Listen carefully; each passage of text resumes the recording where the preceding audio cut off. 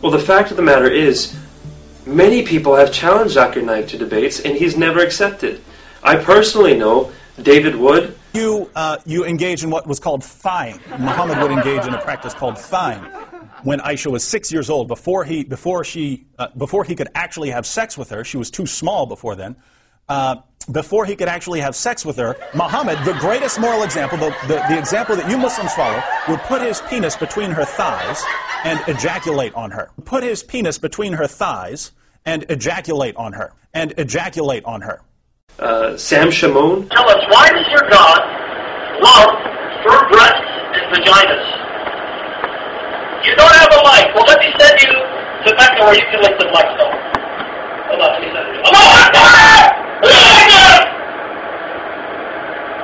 Let me tell you, you guys are cancer to society because you don't worship God but Satan.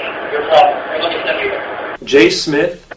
Earlier, um, uh, Shabir said that they are able to drink wine in heaven. I find that interesting because when you go back to the Quran in Surah 590 and also Surah 2, 219, it states very, very succinctly that Satan is the creator of wine. Now, why would you have something created by Satan waiting for them in heaven? It does not say that. No, I'm sorry. It says that it is the amal of shaitan.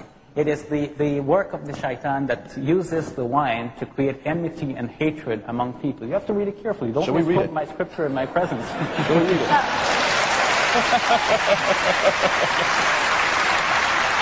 Dr. James White. Been justified by faith. We have eirene, shalom, peace with God.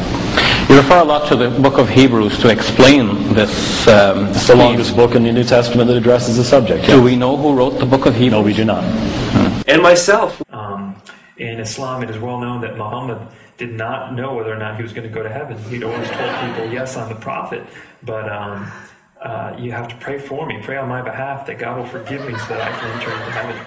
We have all challenged uh, Zakir Naik to debates, and he never responds.